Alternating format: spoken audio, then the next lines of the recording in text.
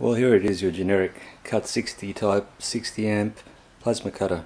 I bought it around a year ago for a job that it couldn't end up doing. I had a couple of muck arounds with it and put it away. Went to use it for a project, no arc.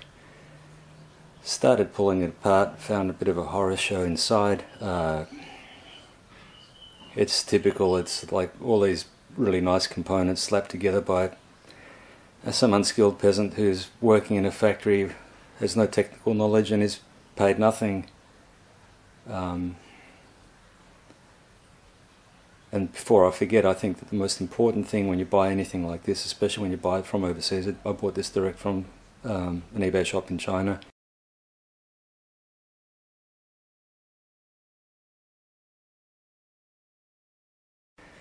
Most important thing you can do is just play with it for as long as you can as soon as you get it because most of the faults are manufacturing faults and they'll show up really quickly.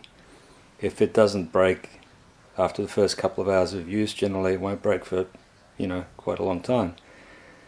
And that was the mistake I made with this one. I just put it away. I should have had a really good long play with it, try to learn how to use it properly and all that sort of thing. And it would have failed very quickly and I would have been able to exchange it. Now I've been backwards and forwards with these guys, and in the end, they wanted me to pay for the parts after promising that I'd just have to pay for shipping. So I've given up, and um, I'll send them a link to this review. Absolutely everything inside was smothered in hot glue. It looks like it's been torn with someone's teeth rather than just cut. So they just ad hoc cut it as they're putting it together to stop anything touching the case.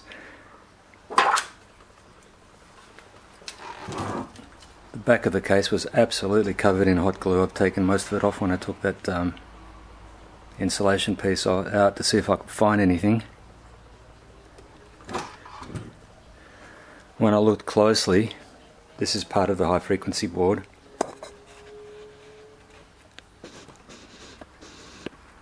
This capacitor, only one pad was soldered.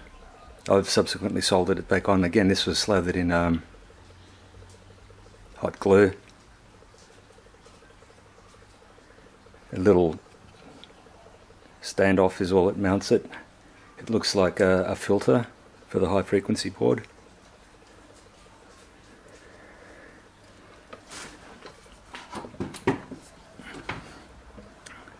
This I'm pretty sure is the high frequency board. Sorry about the light, there's not a lot I can do this time of the day.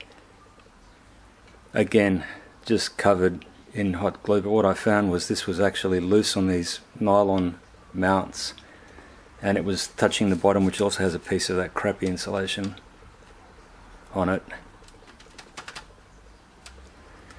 So I'm assuming that because this buzzes at a high frequency so it actually moves when you start it because it was loose, something damaged internally.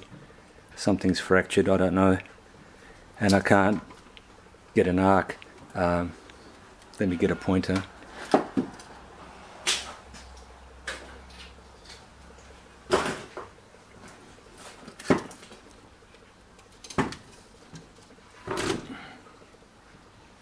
What you have here are two carbon rods. That's the pilot arc it starts arcing in, and that that goes on to create your arc in, on your cutting torch. Nothing's happening there. I'd asked them for a, a replacement high frequency board at a guess. They couldn't. They couldn't tell me which part was broken. They were asking me to tell them. And this is the other danger when you're buying from these um, eBay shops. And you, a good clue is if they're selling plasma cutters and women's laundry in the same shop. All they're doing is keeping an eye on what sells, bringing the stock in and selling it. They know absolutely nothing about it.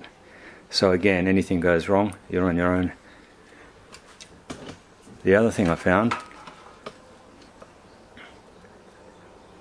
that valve is supposed to have two captive bolts on it holding that bracket. I don't know if you can see it. One of the bolts was snapped clean off it was still in there, but it was not doing anything. Um, what can I say? The quality control is atrocious. The actual components in there don't look too bad, but just the way it's put together. Yeah, this cost me well over three hundred dollars, and uh, it's scrap. Here's another nice little touch from uh, the manufacturing methods. I'm presuming this jumper needed to be bridged, so all they did was stick a hot soldering iron in there and dump a blob of solder on there to bridge the contacts. It's I've never seen anything like that. It's horrible.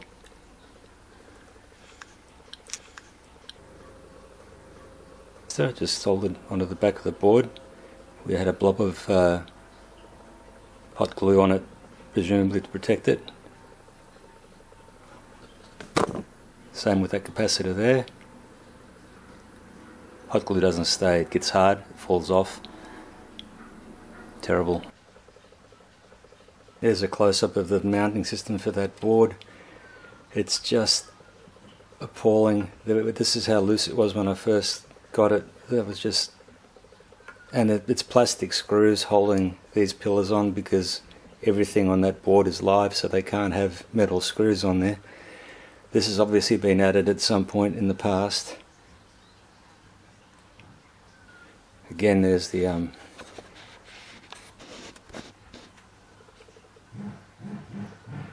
there's the solder blob. There the um, carbon carbon rods for the uh, pilot arc.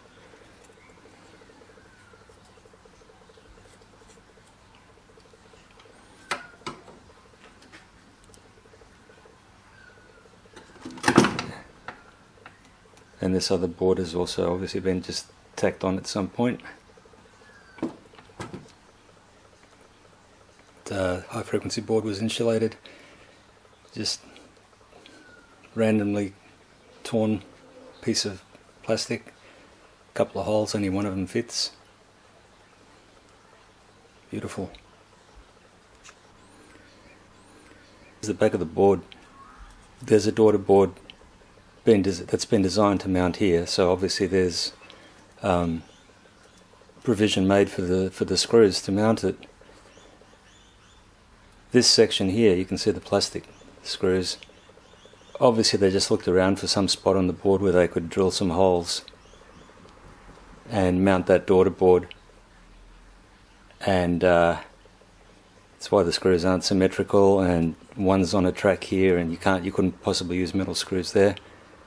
Um, apparently this is a revision or an upgrade or something.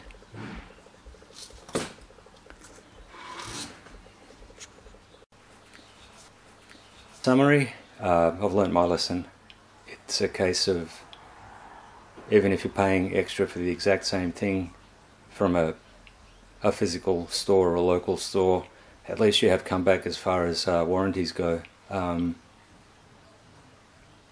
and there's spares, the possibility of spares or you know some sort of restitution if things go wrong. I've been pretty lucky with um, eBay on the whole, but um, yeah, this one's been a complete waste of money. So I hope this uh, is useful to anybody contemplating buying something like this. As I said, the main points are if you buy it locally, even from a local eBay store, you've got way more chance of getting anything um, rectified if anything goes wrong. And the other important thing is, as soon as you get it, start using whatever it is, just use it, play with it. If there's a manufacturing fault, it'll be more than likely it'll show up pretty quickly. Thanks for watching.